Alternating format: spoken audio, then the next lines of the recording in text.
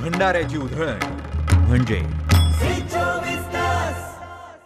मराठा आरक्षणावरील सुनावणी पुढे ढकलण्यात आली आहे. पुढील सुनावणी पाच फेब्रुवारी रोजी होणार आहे. याचिकाकर्ते विनोद पाटील आपल्यासोबत आहेत. सुनावणी अवघी दहा मिनिटं चालली. काय सार आजच्या सुनावणीचं?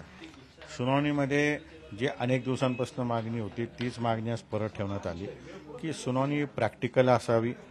आमने सामने असावी ज्यामुळे सायटेशन्स वेगवेगळे जजमेंटचा दाखला दोन्ही पार्टींना न्यायालयासमोर देता येईल.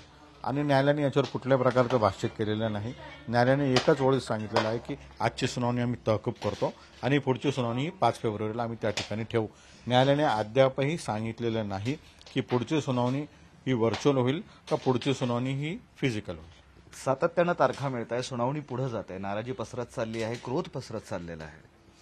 नाराजी तर फार मोठ्या प्रमाणात आहे. आपण बघितलं की सरकारच्या हातामधल्या ज्या गोष्टी होत्या जसं न्यायालयाने भाष्य केलं की आजपर्यंत झालेल्या प्रक्रियेमध्ये आम्ही हस्तक्षेप करणार नाही ते देखील न्यायालयाने नियुक सांगितल्यानंतर देखील नियुक्त्या मिळालेल्या नाही. ॲडमिशन्समध्ये आपण बघितलं एकच प्रश्न आहे की मराठा समाज जर श्रीमंत असता तो मॅनेजमेंटमधून ॲडमिशन घेऊ शकत असता फीज भरू शकत असता तर आम्ही आरक्षण कशासाठी मागितलं? हे शैक्षणिक वर्ष बर्बाद झालेलं आहे. त्यामुळे नाराजी होणं स्वाभाविक आहे आणि प्रचंड प्रमाणात नाराजी पसरलेली आहे. कारण देण्यात आले फिजिकल हिअरिंग असायला हवी. कारण देण्यात आले की कोरोना लस अनेक वकिलांना मिळाली नाही. मात्र असंही कळतं की तयारीच झाली नव्हती पूर्ण. काय मांडायचं आज? जी बैठक गेल्या वेळेस झाली होती त्यातही काही कन्क्लुजन निघालं नव्हतं. नाही मुद्दे दोनच मांडायचे आहे. एक पन्नास टक्केची मर्यादा जी राज्यांनी या अगोदर ओलांडलेली आहे देशांनी अनेक ठिकाणी ओलांडली आहे. राज्यात बावन्न आणि ईडब्ल्यू एस दहा बासष्ट टक्के आरक्षण आहे. दुसरं इंदिरा साहनी खटला. इंदिरा साहनी खटलाचा आणि मराठा आरक्षणाचा काही देणे घेणे नाही. त्यामुळे दोनच मुद्दे मांडायचे आमची तयारी शंभर टक्के होती. राज्य सरकारची आम्हाला कल्पना नाही. राज्य सरकारची काय तयारी तीच आम्हाला न्यायालयात पाहिजे होती. परंतु आज दुर्दैवाने पुढची तारीख आज या ठिकाणी मिळाली आहे. आपण बघतोय की सुनावणी सातत्यानं पुढे ढकलल्या जाते आणि त्यामुळे एक मराठा समाजामध्ये निराशा पसरली आहे. मात्र पर्यायही नाही. त्यामुळे पुढील सुनावणीची वाट पाहावीच लागेल असं स्पष्टपणे विनोद पाटील सांगतायत. व्हिडिओ जर्नलिस्ट मोहम्मद तौफिकसह मी विशाल करोळे झी मीडिया औरंगाबाद. विठू माऊलीचा गजर. म्हणजे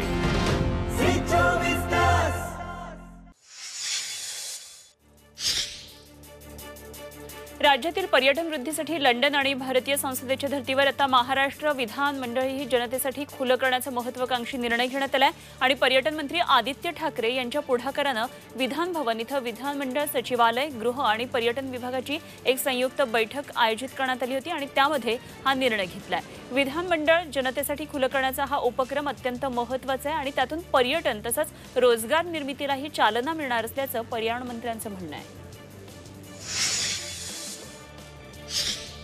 सिंधुदुर्गातल्या उद्घाटनाच्या प्रतीक्षेत असलेल्या चिपी विमानतळावर हातानं कागदी विमानं उडवून मनसेच्या कार्यकर्त्यांनी सत्ताधाऱ्यांचा वेगळ्या पद्धतीनं निषेध नोंदवलाय. उद्घाटनाच्या तारखा अनेकदा हे सत्ताधारी बदलतात आणि त्यामुळे मनसेनं अशा प्रकारे नाराजी व्यक्त केली आहे. सरकारनं वीज रस्ते यासारख्या महत्त्वाच्या गोष्टी उपलब्ध करून देणं हे गरजेचं आहे. आणि त्या उपलब्ध नसताना रोज नवनवीन तारखा मात्र दिल्या जातात आणि त्यामुळे जनतेची दिशाभूल होतीये असा आरोप करत मनसेनं निषेध नोंदवला